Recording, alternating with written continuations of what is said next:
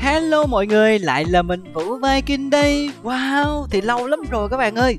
Thì nhà phát hành bây giờ mới cho tụi mình code đây nè. Thì bây giờ mình sẽ nhập code vào ha Code ngày Valentine không biết là cho gì đây mọi người ơi.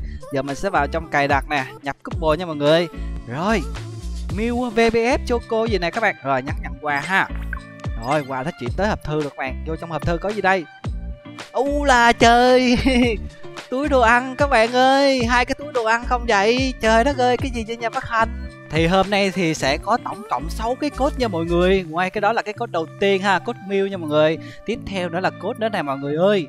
Nhập cốt ha. Đây cốt tiếp theo là cốt này. Rồi mình xíu mình sẽ để hết tất cả các cốt này ở dưới phần à, comment game cho các bạn ha. Thì cốt này chúng ta sẽ nhận được à, hai chậu cây nè. À, bông nha mọi người. Ôi đồ cũng sida lắm. Không biết có cái cốt nào xịn không mọi người ơi rồi mình sẽ nhập tiếp ha nhiều lắm mọi người. Trời ơi hôm nay là ngày valentine cái nhà phát hành cho một mớ cốt luôn. Rồi mình nhập hết một lần xong mình vô hòm thư mình lấy nha mọi người. Tiếp theo là cái cốt này.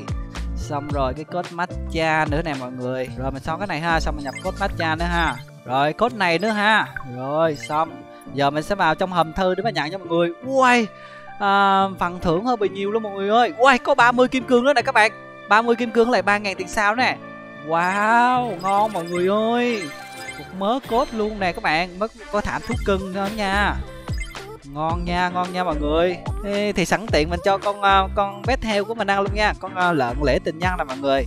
Mình có con lợn lễ tình nhân này mình cho nó ăn luôn. Cho lên level 5 luôn nha mọi người.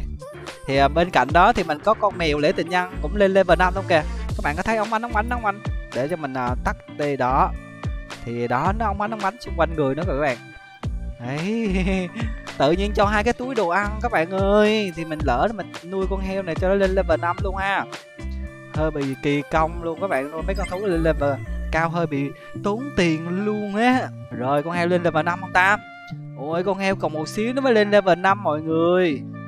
Ôi có con à, à, uh, rập gặp lên của mình là lên level 5 xong là tiến hóa lắm rồi ha nâng cấp luôn rồi nó mới sáng cái gì đó mọi người. Không thôi là lên level năm thì nó chỉ ờ, sáng được lấp lánh lánh như con mèo uh, lễ tình nhân thôi. Nâng cấp thì nó mới sáng lên mới có bộ đồ nha. Rồi bây giờ mình đang nuôi con heo nó lên level 5 đó mọi người.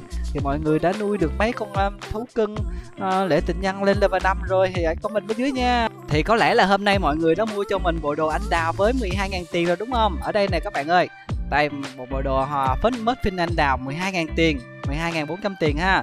Thì nếu như bạn nào mà không có tiền sao mà có tiền kim cương không á thì có thể vô đi đổi nha mọi người. Ở đây thì uh, hơi bị mắc một tí nhưng mà 70 kim cương thì các bạn sẽ được 6.300 sao. Thì à, nếu mà các bạn có nhiều kim cương á thì các bạn có thể đổi ra tiền sao để mà mua ha. Mình thì mình có quá trời rồi mọi người. Đấy thì sẽ được một bộ đồ thì mình đã trưng ở đây nè mọi người. Đó nguyên một dàn đồ vip mình đang chào đón một chịu sao nè mọi người? Chắc khuya nay là được đấy. Rồi, mình sẽ treo tiền tiếp đây. Rồi, bye bye các bạn nha. Và đừng quên kéo xuống giúp mình một like và đăng ký kênh để theo dõi video mới nhất của mình nha. Anh bữa có code nào hay là có cái gì đó thì mình sẽ thông báo cho mọi người. Bye bye.